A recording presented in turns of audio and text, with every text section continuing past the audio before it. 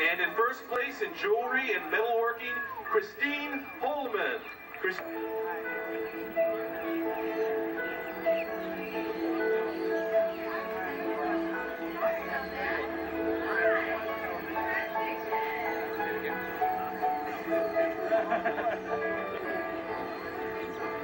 Our next category